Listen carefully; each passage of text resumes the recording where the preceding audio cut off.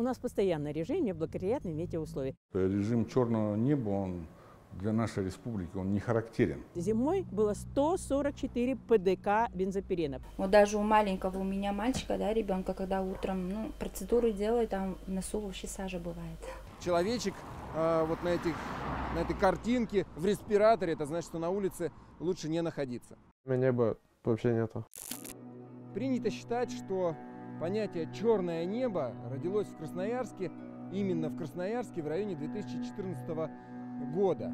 И это чисто красноярское явление. Но жалобы на воздух и людские протесты доносятся и из других сибирских городов.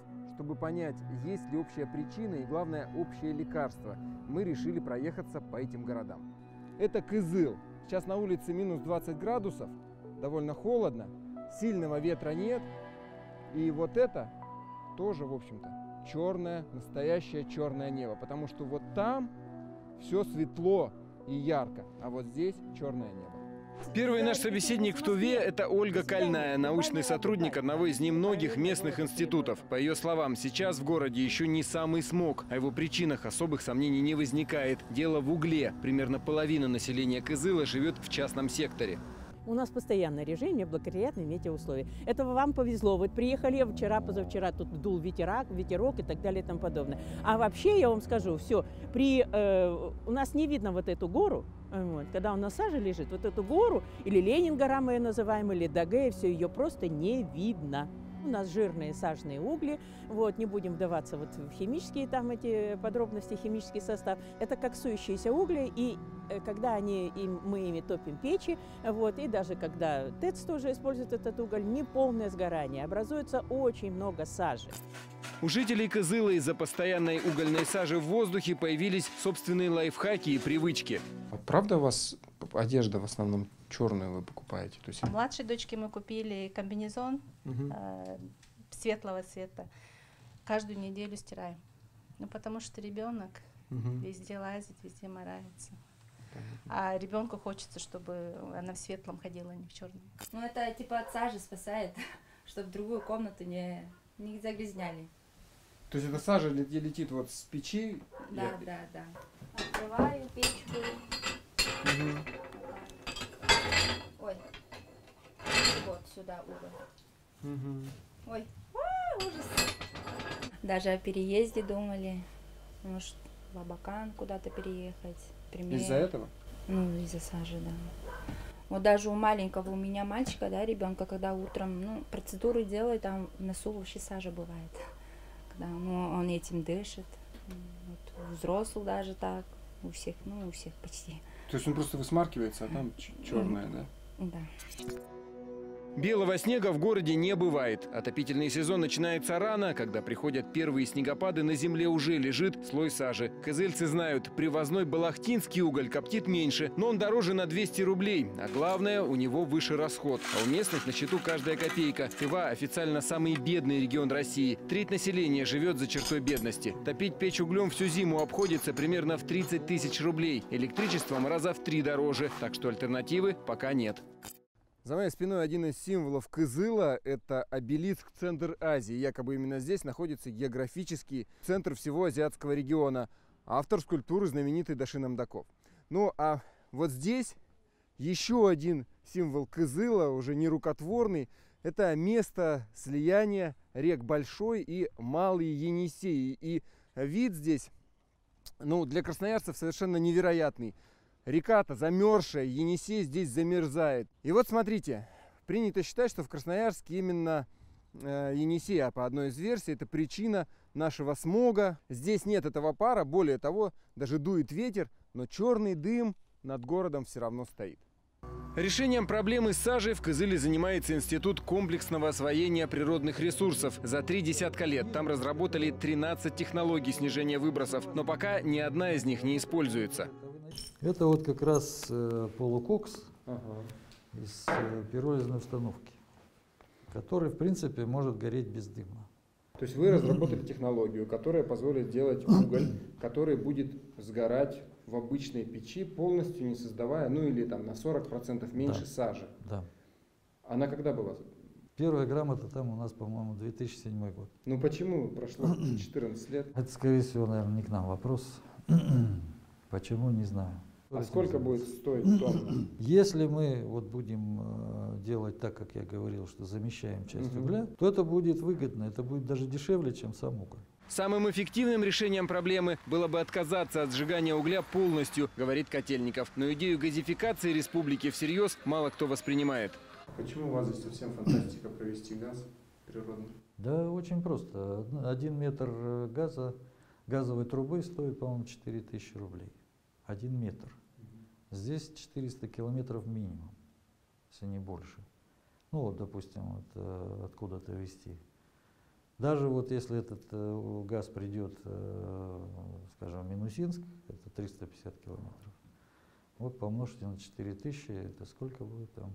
Даже метр, ну, в общем, где-то миллиарды. Миллиарды. Это очень большая сумма. Не знаю, если только дальше провести его, там, Монголия, Китай, тогда да. Еще одна местная особенность. В Кызыле не вводится режим неблагоприятных метеоусловий. Вообще такого явления нет. Хотя мы в Красноярске ну, следим постоянно за введением этого режима. Предприятия соответствующим образом себя ведут. Жителям рекомендуют на улице не выходить. Более того, здесь даже не публикуют данные в открытых источниках в интернете о загрязнении. Хотя э, по Кызылу есть три поста наблюдения за атмосферным воздухом.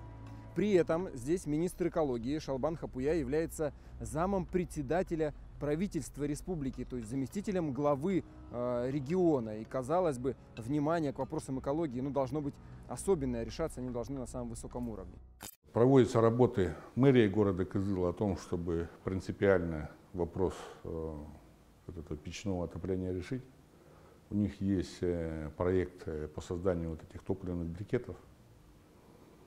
По этой же теме отрабатывает наш э, региональный институт. Ну это же уже давно, почему вот они до сих пор не делаются?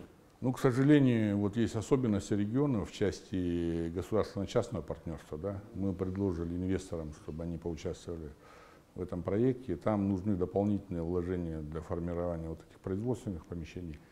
И на текущий час этот конкурс объявлен. Как только будет инвестор, я думаю, что этот проект он заработает. Здесь есть э, территориальные особенности, да, как вы можете наблюдать, э, Кызыл, как столица, он находится в такой достаточно низменной поверхности, да, это котловина, которая зажата с нескольких сторон горами. И вот именно по причине ну, такого нерационального использования, это не наш вопрос, это было сделано до этого состава правительства, размещение в том числе центральной вот этой генерирующей станции, которая находится на восточной части города Кызыла. И роза ветров, к сожалению, так расположена, что вот эти все выбросы, они накрывают город. Ну и котловина, она очень плохо проветривается, так бытовым языком говоря, да. И если есть определенные какие-то ветровые нагрузки, то у нас атмосфера достаточно чистая.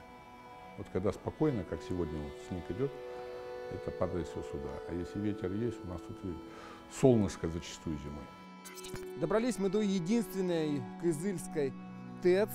Э, У меня в руках датчик, который использует э, Красноярская независимая сеть мониторинга воздуха, Красноярск небо, вот такие датчики они используют. На набережной, где мы были, по взвешенным частицам был показатель в районе э, 7-10 единиц, это хороший показатель, там действительно дул ветер и, в общем-то, тут дышалось легко. Здесь, что он показывает под трубами ТЭЦ, 100, вот сейчас 140, но поднимается до 170 единиц по взвешенным частицам. Каждый год всегда говорят об этой проблеме везде. Потому что это как бы чуть-чуть выйдешь из города, там сразу этот небо хотя бы видно. Сейчас просто пару дней ветра были, более-менее небо стало. А так обычно, прям когда сильно холодно на улице, минус 40, минус 30, там в это время неба вообще нету. Вот, например, мы уезжаем, да, за Саянами где-то куда-то там отдыхать. Потом, когда вот приближаемся, вот козыл весь, вся сажа, вообще ужас. На огороде, во дворе, там лет, о, зимой даже прогуляться с детьми невозможно, там сажа. До 2018 года в городе э, в воздухе э, вот, зимой было 144 ПДК бензопирена. ПДК – это предельно допустимая концентрация. ПДК, это, представляете, превышает норму в 144 раза. И вот четко вот так вот, значит, повышение бензопирена, и тут же параллельно это э, вот эта вот прямая по увеличению онкологических заболеваний. Прошло уже два дня, как я вернулся из Кызыла в Красноярск, и сегодня здесь светит солнце и дует ветер, но мы-то знаем, что черное небо никуда не делось, как и проблемы экологии. И вот чем пример Кызыла для нас показателен. Там нет такого количества автомобилей, нет заводов, нет парящего Енисея, а черное небо из-за жуткой угольной сажи есть. И решить проблему можно, а, но то ли от того, что нет денег, от бедности, то ли потому, что все привыкли и других забот хватает, местные власти до сих пор не сделали вообще ничего, одни планы и проекты. Ну и, конечно, газификация, она бы в один момент могла сделать так, что и жители города, и гости могли, наконец, прямо из центра любоваться прекрасными местными сопками.